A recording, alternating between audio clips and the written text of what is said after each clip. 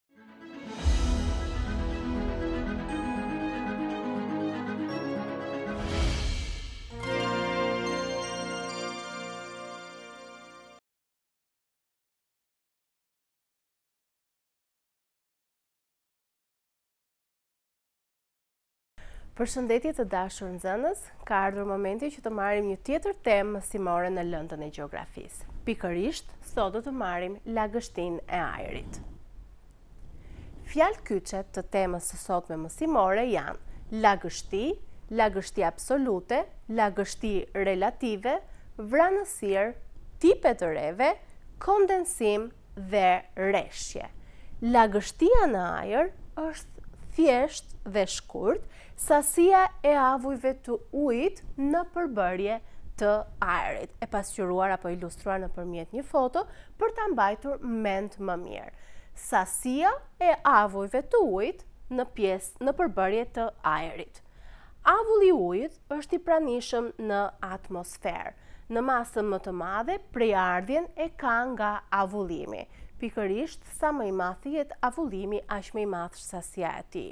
Nga vjen avullimi dhe si pasuron ai ajrin tonë me avuj e ujit?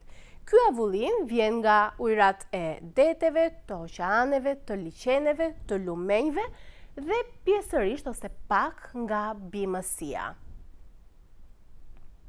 Pra siç e pamë ishin shumë faktorë që së bashku me njëri-tjetrin ndikonin në pasurimin e ajrit me avuj uji.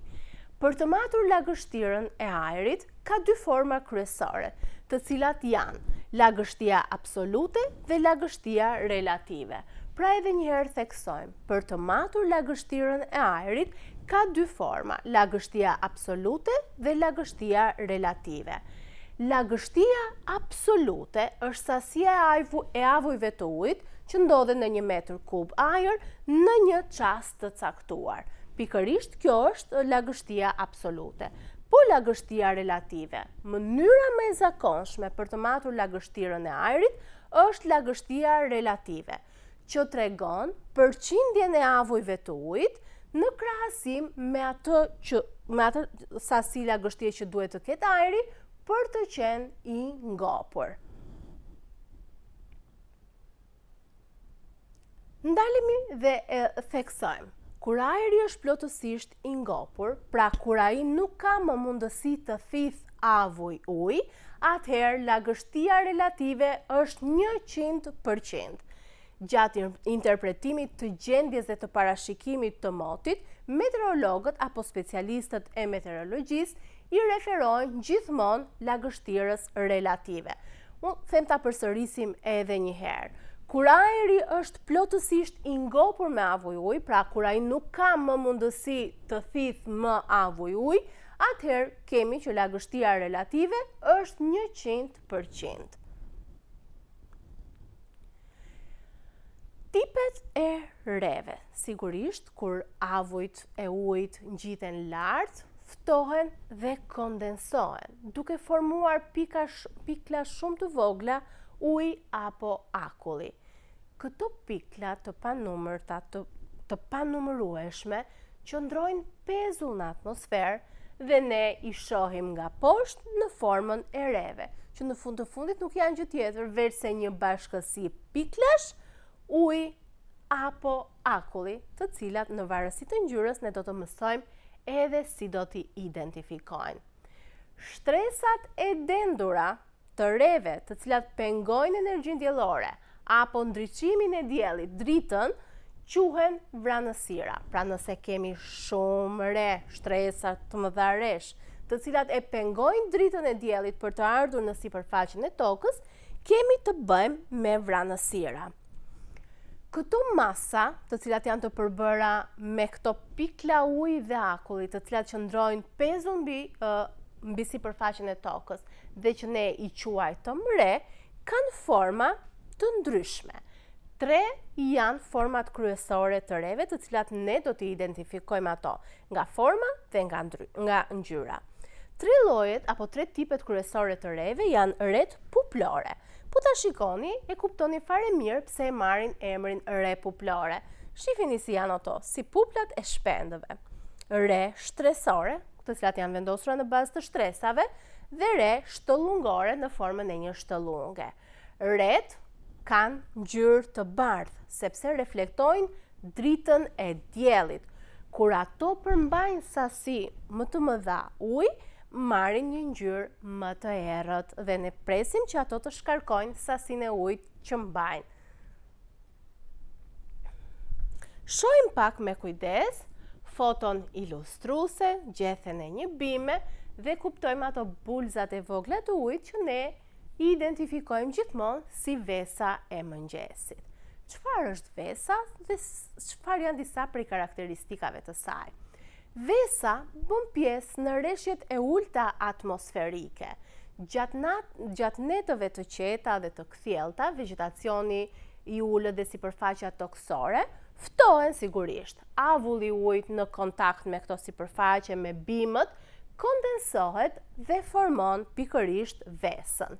Shpesh herët në mëngjes, lulet, gjethet, barërat dhe bimët e tjera mbulohen pikërisht nga këto bulza uji apo nga këto pikëza të vogla uji. Ato vijnë nga frymëmarrja e bimëve ose nga ajri i pasur me avuj, që ftohen dhe bien në formë vese. Pikat e vesës shfaqen jo vetëm tek bimët, por tek gjithçka tjetër që i rrethon të gjitha sendet që mund të jenë përjashta në një ambient, mbi rrugë, mbi ndërtesa e kudo tjetër. Kur netët janë të ngrohta, bimët nxjerrin nëpërmjet gjetheve disa pikëza uji për të ruajtur freskinë. Kujdes, edhe në këtë moment ne përdorim termin vesë, por në fakt në këto momente nuk kemi të bëjmë me vesën, por është aftësia që kanë bimët për të mbuluar dhe ruajtur veten e tyre. Vesa ishte ajo që e kishim jo vetëm te bimët edhe tek lulet apo barërat e ndryshme por tek çdo send tjetër i cili ishte përqark në natyrë.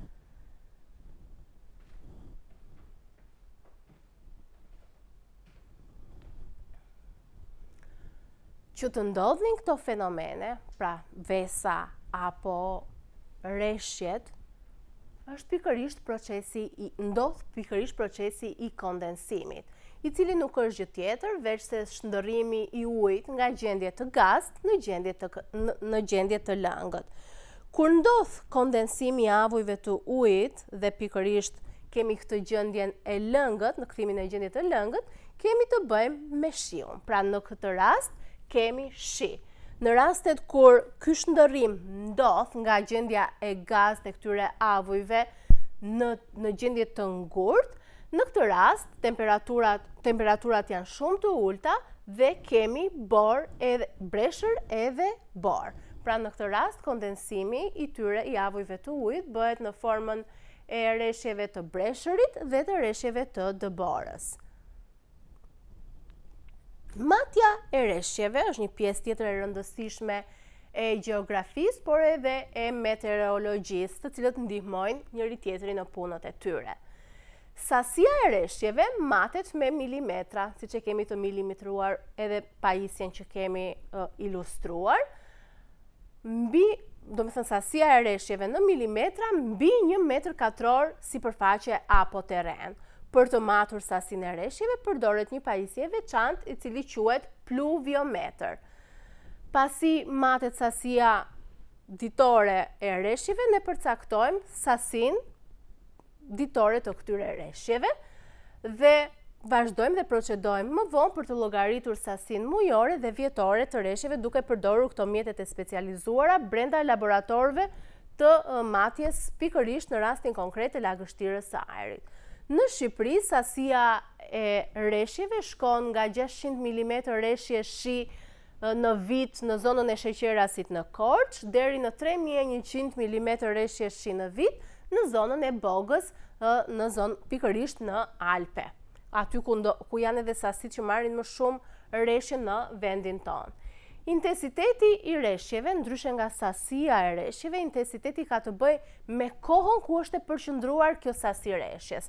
Pra ne mund të kemi të njëjtën sasi reshjesh të shpërndarë në një periudhë 24 orëve, por në qoftë se kjo sasi e njëjtë reshjesh bie brenda 30 minutave, atëherë do të kemi reshje me intensitet të lartë. Në këtë moment do të duhet të jemi të përgatitur që këto reshje do të shkaktojnë dëme shumë të mëdha në kulturat bujqësore apo në sipërfaqe të ndryshme, deri edhe në përmbytjen e sipërfaqeve pse jo edhe të zonave urbane siç mund të kenë ndodhur. Pra intensiteti i reshjeve, matja e intensitetit është shumë e rëndësishme.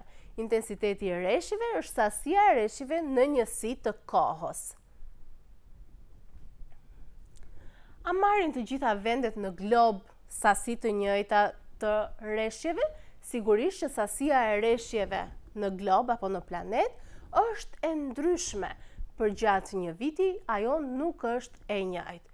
Kjo shpërndarje e reshjeve siç e shohim edhe në hartë ndryshon nga ekuatori në drejtim të poleve, sigurisht në varësi të asaj që ne kemi thënë në mësimet e kaluara, të rrezatimit diellor, për shkak të nivelit të rrezatimit diellor, nga ujërat e deteve dhe të oqeaneve, pra që çojnë në avullimin e tyre dhe pastaj kondensimin mbi këto sipërfaqe, si dhe lartësisë së relievit ku ndodhen këto territore, temperaturat e ajrit dhe drejtimet e erërave. Po t'i shikojmë vendet të cilat janë me një blu më të errët, janë vendet të cilat marrin sasi më të mëdha të reshjeve dhe jemi pikërisht pranë zonës ekuatoriale, të cilat janë vendet që marrin sasi më të mëdha reshjesh.